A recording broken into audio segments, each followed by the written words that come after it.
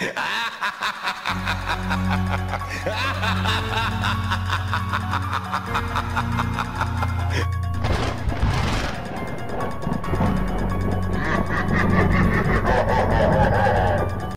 čega vjerovatno ni vi ne možete da se sjetite jeste koliko pažljivo je dječja nevinost bila na nišanu i pucano je pravo među oči.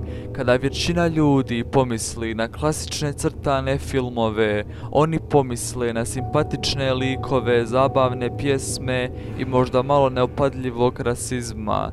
Ono čega vjerovatno ni vi ne možete da se sjetite jeste koliko pažljivo je dječja nevinost bila na nišanu i pucano joj je pravu među oči, jer oni koji ne proučavaju prošlost osuđeni su da je ponove.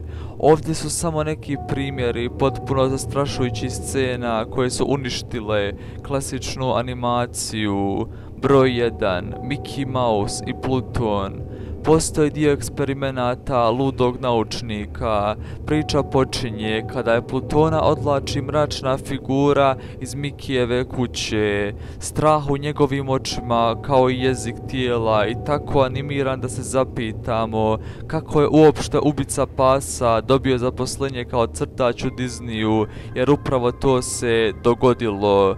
Kada je Pluton zarobljen, figura se otkriva i saznajemo da je to ludi naučnik koji hoće da spoji Plutonovu glavu na tijelo kokoške.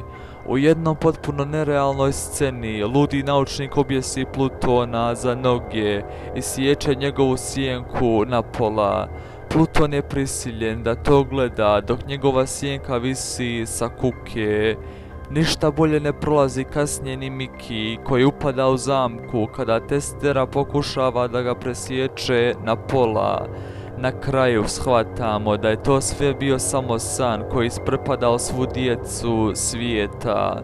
Ovaj crtani zabranjen je Velikoj Britaniji i Njemačkoj.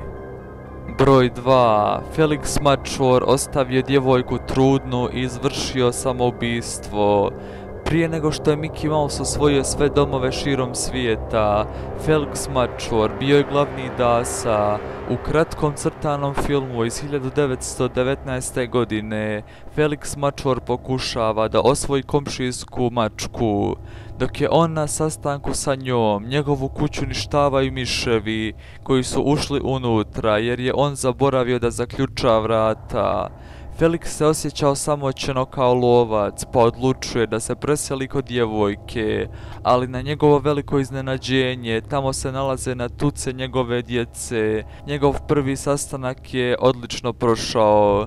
Felix je riješio da zbriše odatle kako bi izbjegao odgovornost i donosi odluku da usta strpa crijevo od benzina i tako riješi svoje probleme.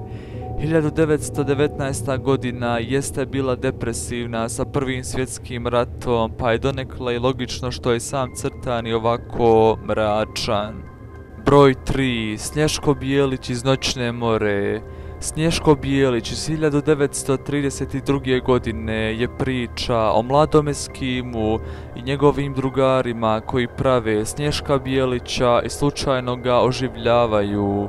Oprošteno vam je ako ste svi pomislili da je ovo jedan radosni crtani film gdje se živi i Snješko druži sa svojim novim drugarima. Kada oživi njegovo lice, počinje zastrašujuće da se topi. Počinje da uništava sve pred sobom i vjerovali ili ne, davi jednu foku. Mladi Eskim slučajno pronalazi mašinu koja mu nekako dozvoljava da kontroliše temperaturu sunca i uspjeva na kraju da ga otopi i da uništi ovu gadnu zvijer. I šta vi mislite, da li ovakve crtane treba i dan danas zabraniti i da li se trebalo to prije odmah zabraniti u Disneyevoj tvornici crtanih filmova? Ja se nadam da bi trebalo biti tako. Lajkujte video i šerujte svojim prijateljima i subscribe se na moj kanal i do idućeg gledanja. Pozdrav!